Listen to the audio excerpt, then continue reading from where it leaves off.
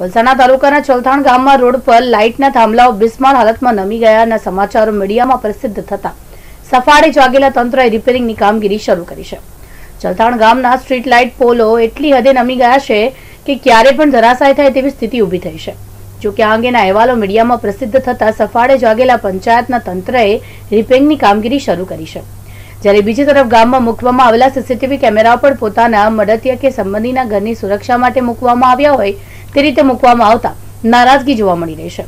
આમ દિશાહીન કેમેરાના કારણે લોકોમાં ભારે નારાજગી જોવા મળી રહી છે.